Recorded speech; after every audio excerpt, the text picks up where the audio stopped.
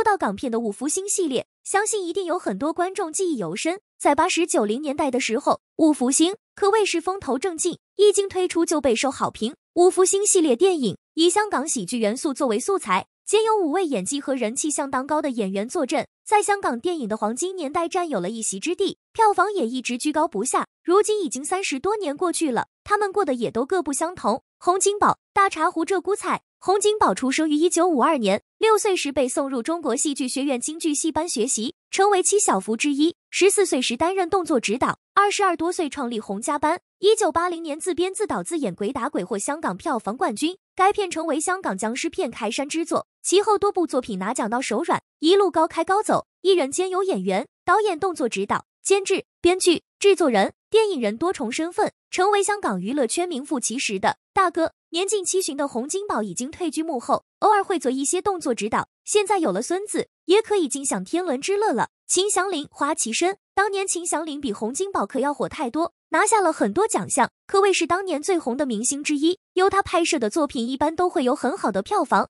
秦祥林出生于一九四八年，二十岁进入娱乐圈发展。在七十年代时，琼瑶剧成为一时的大 IP，其中涌现出最具有影响力的，到秦傲林、秦汉、秦祥林。林凤娇、林青霞，而秦祥林也因为相貌俊秀和演技突出，成为了琼瑶御用小生。秦祥林和林青霞的恋情八卦也成为大家茶余饭后的谈资。之后，秦祥林一路获奖颇多，例如《人在天涯》获得第十三届金马奖影帝。一九八九年，秦祥林移民美国，开始投资股市，被洗劫一空，后又投资楼市，终于有所收获。不过，拍摄了几年电影之后，他就移民到美国生活了。据说生活非常悠闲。如今七十一岁的秦祥林，家庭生活美满，两个儿子也是高大帅气，余生安好。冯翠帆，犀牛皮，一九四五年出生的她，如今已经七十三岁了。她活跃在影坛的时间挺长的，同时她也是一名导演。但是与其他人不同的是，她的感情非常的曲折，一直都没有结过婚。如今七十三岁，依旧孤身一人。冯翠帆出生于一九四五年，二十岁参演《黑玫瑰之三之红花侠盗》，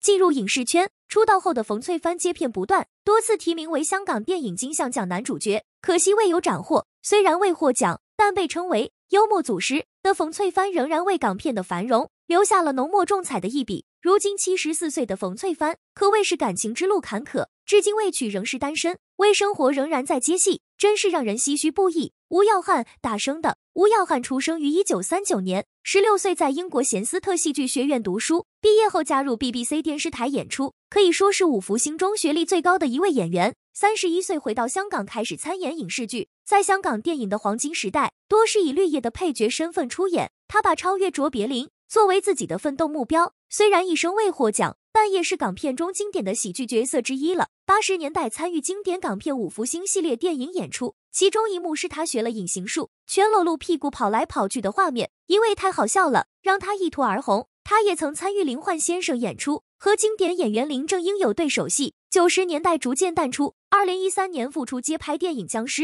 每次在荧幕中看到他就想笑，相信有很多朋友也有这种感觉。本身长得就比较喜感，拿过金像奖最佳男主角，拍摄不少影片，为影坛做出不少贡献。如今也过上了安享晚年的悠闲生活。据说他的儿子也是圈内人，也拍过电影。如今的吴耀汉身价三十五亿，儿子却被女友嫌弃穷困，而自己身体每况愈下，只能靠每天洗肾保命，有些令人心疼。曾志伟、罗汉果。曾志伟出生于一九五三年，六岁时代表香港参加青年杯，直到七十年代才进入影坛。一九七四年结束了足球运动员的职业生涯，在从影的生涯中摘获影帝满满。曾志伟如今在娱乐圈也十分的有地位，毕竟是老戏骨了。当年的他也是风靡一时，不过从二零一八年初就性侵蓝洁瑛事件，让他深陷丑闻中。一把年纪了却被人扒出这样的事件，着实让他焦头烂额。如今六十六岁的曾志伟即将抱上孙子，准备升级当爷爷了，晚年生活也算是幸福美满。世事变迁，五福星现状差别巨大。香港电影产业发达，其中又以警匪片、喜剧片最引人入胜，有不少现在正在职场打拼的七八年级生，小时候就是看电视剧真情、电影五福星系列、富贵逼人系列、开心鬼系列等喜剧长大的。你现在熟知的星爷，恐怕都还要叫这些人一声前辈呢。不过看了这么多喜剧。你还记得那些努力表演，只为了要给观众带来欢笑的演员吗？今天就为各位粉丝们找出香港早期十大谐星，与各位重温当年的欢笑与感动。薛家燕，香港长寿电视剧《真情》吗？剧中知名的好姨就是薛家燕，她另一个让人难忘的代表作就是电影《食神》中最后吃到安然销魂饭的评审。她从小学越剧、跳芭蕾，八岁便参加电影演出，至今演出超过百部电影。在香港很受欢迎，多次被选为最受欢迎明星之一，还曾获香港政府颁发荣誉勋章，表现深受肯定。罗家英，他曾演过国产《零零七》的达文西、《大话西游》的唐僧等爆笑角色，但他来头可不小，不仅出生粤剧世家，还在二十一岁起就演出各种大戏，连刘德华都曾向他拜师学艺。直到七十年代粤剧观众逐渐减少，才改行参与电影演出。他与女星汪明荃交往二十年，期间虽多次求婚，但都被拒。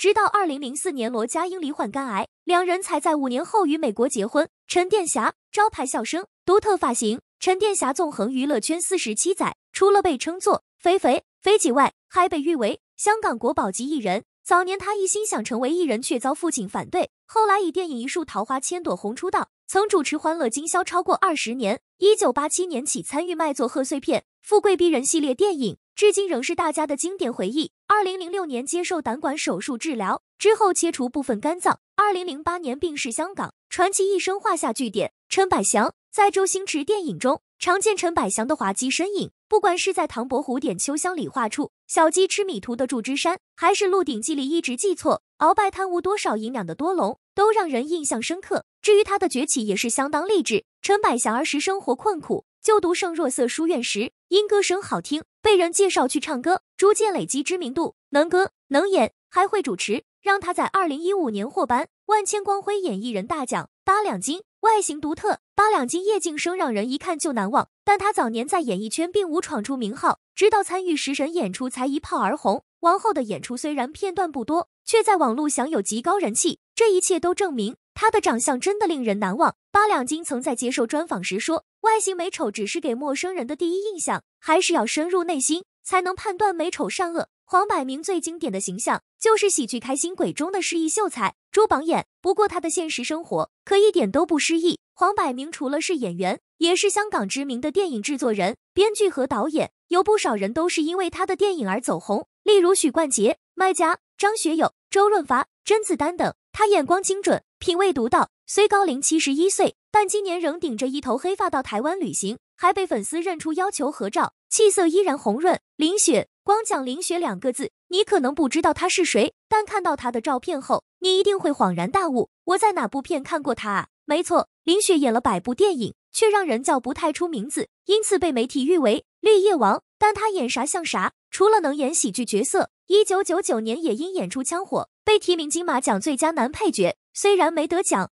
但在二零一七年获颁亚洲电影大奖最佳男配角，备受肯定。黄子华，黄子华早年在加拿大拿到哲学学士后，回到香港，希望成为演员，过程却不是很顺利。到了一九九零年，他心灰意冷，在退出演艺圈前，决定以独特的动笃笑独角喜剧向观众抒发心路历程。没想到一炮而红，从此被定位为谐星。他演出内容除了搞笑，也有讽刺时弊的意思。曾在接受媒体专访时说，希望能在演出中让观众不停去反思。此外，也有不少由他担纲演出的港剧获得网友们的喜爱。徐冠文，徐冠文是香港经典冷面笑匠，一九八一年和两个弟弟自导自演喜剧《摩登保镖》，一举拿下香港金像奖第一届最佳男主角。他早年是电视艺人，七十年代初次登上大荧幕，生涯累积许多作品，包含了现在大家依旧熟悉的神算杀杀杀及铜鸭奖。去年参与台湾电影《一路顺风》演出，跨海来台拍戏，还被提名金马五十三最佳男主角。最后爆冷由大陆演员范伟夺得。上面提到的明星，